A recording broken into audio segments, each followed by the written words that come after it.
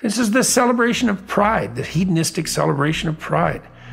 You know, we have Pride Month. Well, what, what are we celebrating? First of all, how about we don't celebrate pride? Pride's a cardinal sin.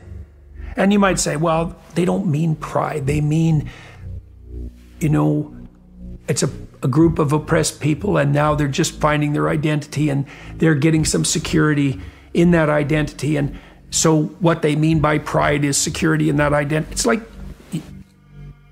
the word's pride. That's the word that was chosen. So, I don't care what the lies around that are. And it's pride in relationship, as far as I can tell, to nothing but hedonistic self gratification. It's like you're gonna, your identity is gonna be your sexual desire. That's your identity, your sexual desire. So that's sexual desire is at the center of hedonism.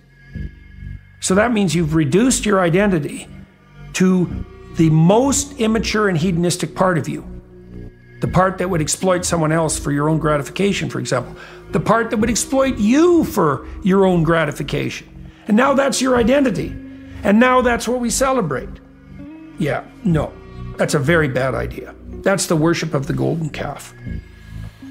And that's what, in the Exodus story, for example, when Moses disappears, so he's the prophet of God, when, when the prophet of God disappears, the Israelites are left in the hands of Aaron, and Aaron's a political leader. And in, in no time flat, the political leader offers the slavish Israelites the worship of the golden calf. They're all drunk and dancing naked around the fire in a way that makes them contemptible to their enemies. That's what it says in the biblical text. You don't have to be much of a genius to understand that, you know, Rachel Levine is not exactly striking heart in the striking fear in the heart of the Iranians.